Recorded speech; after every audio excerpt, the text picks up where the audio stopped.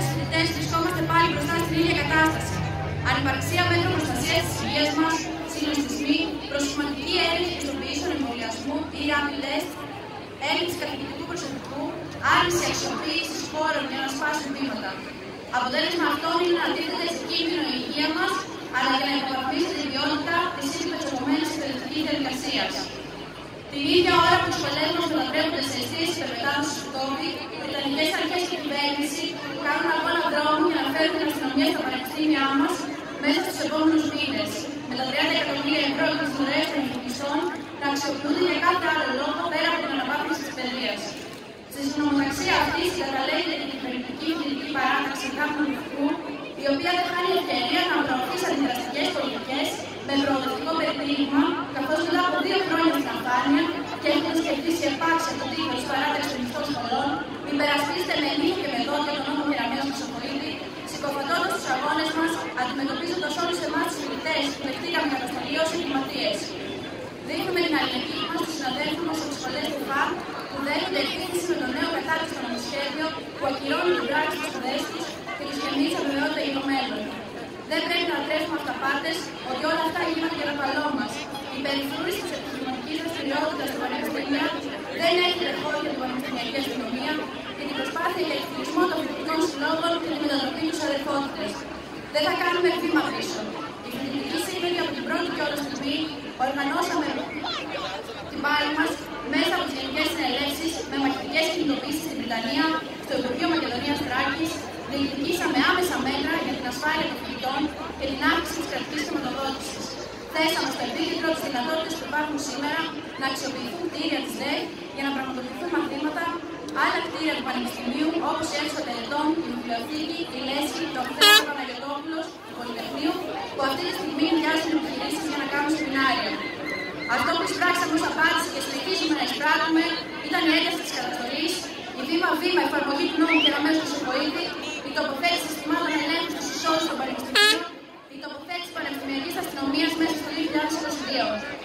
Άλλωστε, η όλο και μεγαλύτερη σύνδεση των πτυχίων μας με την αγορά, το μπάσιμο των επιχειρήσεων στα πανεπιστήμια, απαιτεί περιφρούρηση. Και ως συνέπεια, έχουμε συνεχώς αλλαγές στα προγράμματα σπουδών, κομμένα και ραμμένα στα τέλη της αγοράς, σε νόμο στα δίδακτρα, όπως τη φύση και στην ιατρική και προτάθηκε στην νομική. Α πούμε, οι φοιτητέ ΤΕΦΑ έχουμε έρθει αντιμέτωποι με ένα νέο αθλητικό νομοσχέδιο, το οποίο έρχεται να υποβαθμίσει ακόμα περισσότερο το πτυχίο μας και να χτυπήσει τα ήδη πληγωμένα εργασιακά μας δικαιώματα. Έρχεται να θεσπίσει τον όρο του εκπαιδευτή, καταργεί το πρόγραμμα αθλητισμός για όλους, εξισώνει τα πτυχία μας με αυτά των ιδιωτικών κολεγίων. Μπροστά σε αυτή την επίθεση που δεχόμαστε, εμείς, σαν σύλλογος φοιτητών ΤΕΦΑ, δεν μείναμε με σταυρωμένα χέρια. Μέσα από τις συλλογικές μας διαδικασίες και αποφάσεις, απαιτήσαμε από την πρώτη στιγμή αυτό το έκτρωμα να αποσυρθεί. Προχωρήσαμε σε δραστηριότητα ενημέρωσης των φοιτητών και κορυφώσαμε με συλλαλητήριο και την Πανελλαδική ημέρα δράσης σε συντονισμό με τους φοιτητικούς συλλόγους ΤΕΦΑ της Αθήνας και των Τρικάλων. Φυσικά, μέσα σε αυτή την επίθεση που δεχόμαστε, δεν έχουμε να αντιμετωπίσουμε μόνο αυτά. Από την αρχή της χρονιάς αντιμετωπίζουμε τα ανύπαρκτα μέτρα προστασίας της υγείας, την υποχρηματοδότηση, την έλλειψη υποδομών, την περαιτέρω ένταση της καταστολής.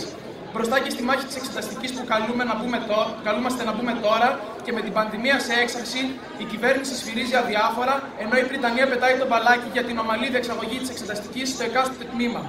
Όλα αυτά φυσικά χωρίς πλάνο, χωρίς πρόληψη και χωρίς σχεδιασμό.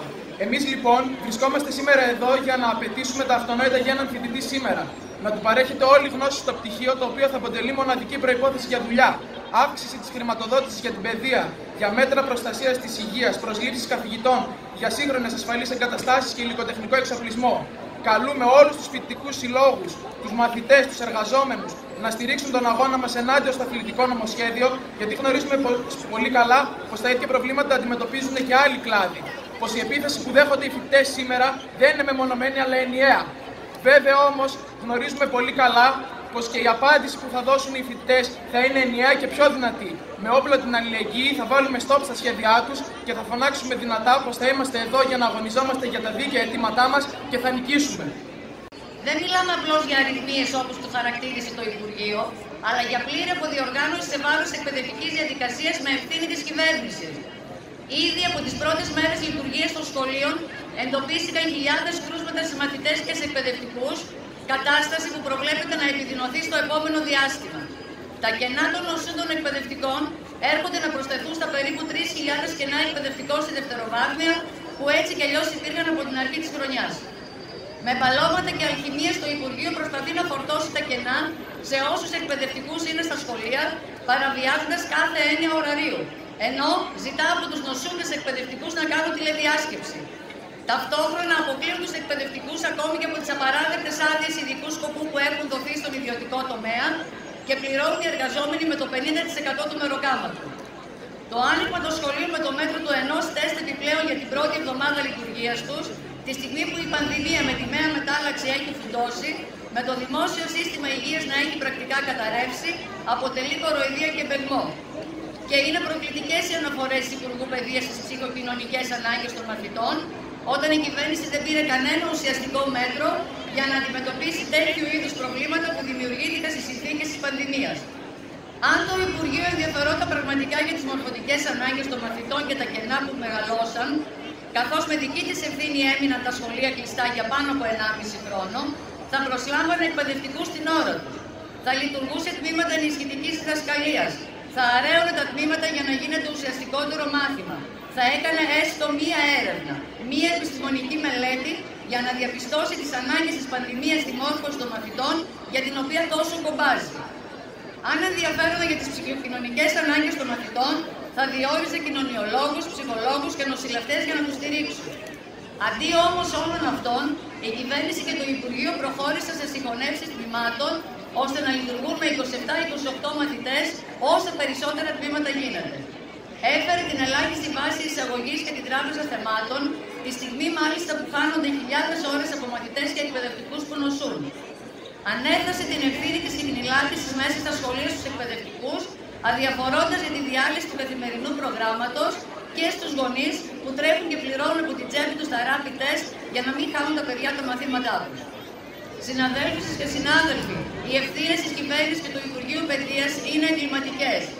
Η πολιτική τους, οι συνεχείς επικλήσεις στην ατομική ευθύνη, η απόρριψη όλων των δίκαιων διεκδικήσεών μας εδώ και σχεδόν δύο χρόνια, τα μέτρα του καρικατούρας που συνεχώς ανακοινώνει, όχι απλά δεν υπηρετούν την προστασία της υγείας του λαού, αλλά την υπονομεύουν. Μοναδική έννοια τους είναι η απρόσκοπη λειτουργία της οικονομίας, οι απαιτήσεις των επιχειρηματικών ομήλων, η διασφάλιση της κερδοφορίας τους. Τα τελευταία δυόμιση χρόνια η κυβέρνηση και το Υπουργείο Παιδείας καταφέρατε κάτι μοναδικό. Να μας επιβεβαιώνετε κάθε λεπτό της ζωής μας ότι βλέπετε εμάς και περισσότερο τα παιδιά μας ως κόστος. Δυόμιση χρόνια δεν έχετε πάρει ούτε ένα μέτρο που θα εξασφαλίσει την ασφαλή υγεία και παιδεία των μαθητών. Αντίθετα πήρατε μέτρα που θέτουν ακόμα περισσότερο σε κίνδυνο την υγεία και την ψυχική υγεία των παιδιών μας, των δασκάλων, των καθηγητών τους. Όλα αυτά τα δυόμιση χρόνια μας θέτεται σε κίνδυνο με τα πρωτόκολλα λάστιχο. Μας θέτεται σε κίνδυνο με το μη παίρνοντας μέτρα για τα μαθησιακά κενά, που είναι πολλά, με δύο χρόνια τηλεκπαίδευση και ακόμα πιο πολλά με, με την γραφειοκρατία που αναγκάζει τους μισούς καθηγητές να ασχολούνται με το να στέλνουν ονόματα μαθητών, να δίνουν τεστ, να δίνουν χαρτί για δωρεάν ράπη.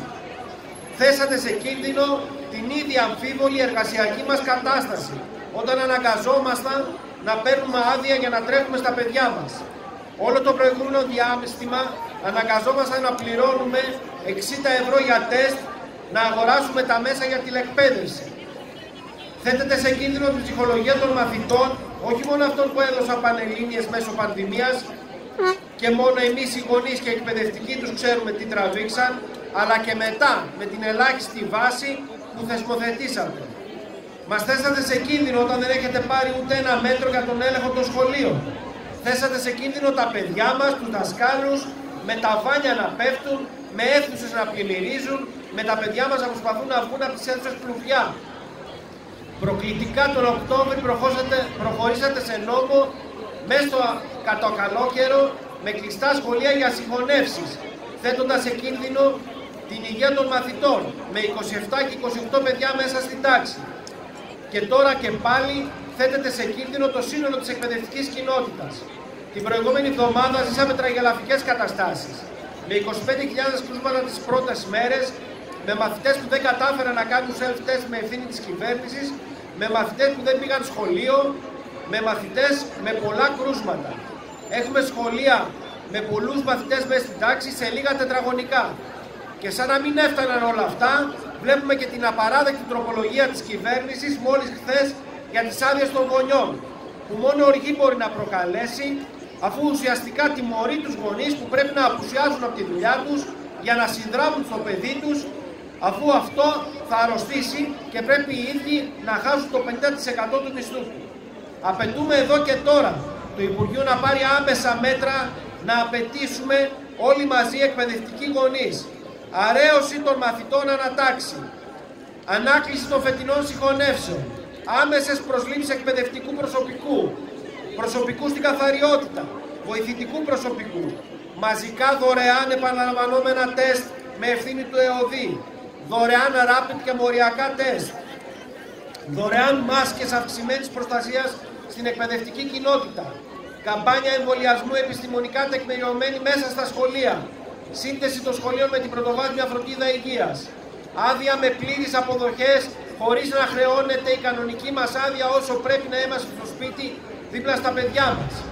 Ταυτόχρονα, με αφορμή τα πρόσφατα γεγονότα στο ΕΠΑΛ μου, δεν θα αφήσουμε μικρές μερίδες μαθητών και εξωσχολικών να φοβίζουν, να τραμπουκίζουν, να τρομοκρατούν μαθητές που αγωνίζονται για μόρφωση και υγεία.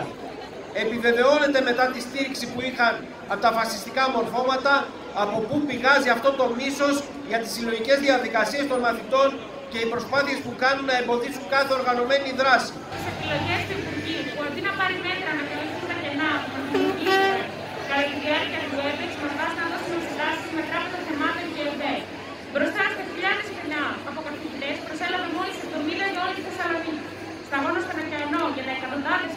Σχολεία μόνο της πόλης μας, τη στιγμή που έχουμε καθηγητές ιστορίας που μας κάθονται και λίγο μαθήματα ξένων γλωσσών και λίγο τα υπόλοιπα θεωρητικά.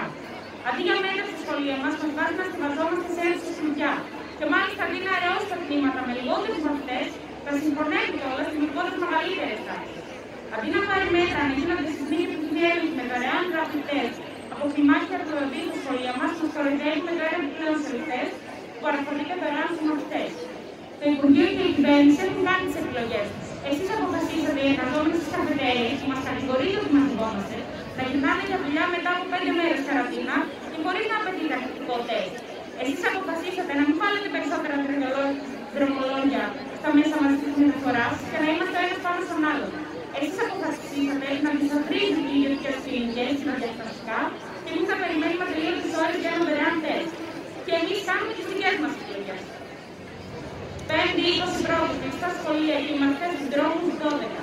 Σάββατο Βενιζέλου με του φοιτητές, τους γονείς και τους καθηγητέ μας. Απαιτούν αναπροσαρμογή της ύλη των εξετάσεων σε όλες τις τάξει, ειδικά στην τρίτη ηλικίου. Να μην εφαρμοστεί η τράπεζα θεμάτων σε καμία τάξη, η ελάχιστη βάση αγωγή και η υπηρεσία του μαγραφικό. Εδώ και τώρα με τα αρέωση τη τάξη μας. Δωρεάν και συχνά rapid test στα σχολεία σε όλους τους μαθητές με την Υπουργείου Παιδεία του ΕΟΔΗ και στη συνεργασία με του Δήμου να μην μπαίνουν να ψηφίσει ο κανένας στην είναι υποχρεωτική η οικονομική καραντίνα, περιμένει αποτελέσματα τεστ. Να αυξηθεί το όριο ψηφιών στη